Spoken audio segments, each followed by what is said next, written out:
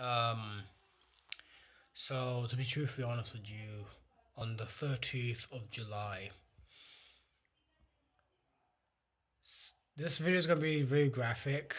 So I do apologize for not putting the beginning, but this information and what I'm going to present to you is really, really messed up. I mean, like really messed up at the moment. And to be honest with you, it's just that ever since I knew Chris since uh, like years ago, ever since that about documentaries from PewDiePie, documentaries about his past life, uh, Chris Chan is a person who um had a hard life, and at the moment he did something messed up, okay? So before that, he was uh like a bullied victim.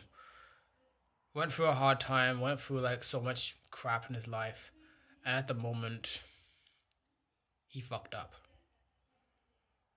Really fucked up. So uh what happened is that I'm gonna be saying that it's really disgusting, but Chris, why the hell would you do that to your mother? Hmm? Why? You're nearly 40 years old. You didn't get your life together. You didn't actually get your like shit together, but why would you do that to your mother? Why? She wasn't feeling well at the moment with like all the things she went through, and for you to do that to her is just disgusting. Why would you do that, Chris? I mean, why? You're nearly four years old, and you would do that something to her. For the sake of them, it is disgusting right now. So, he did something to his mother, and it was incest. And the mother, they saying, is at the hospital. But Chris, on the other hand, is actually like somewhere else. Person's actually like not doing well, like not go for like someone else. But it's quite scary. Like I never knew that something this dark would this happen to him. Something this dark. Something that whenever you are like whenever you watch Breaking Bad and Breaking Bad is like completely different Chris Chan. But imagine a Breaking Bad episode in Chris Chan's life. Well, it's different.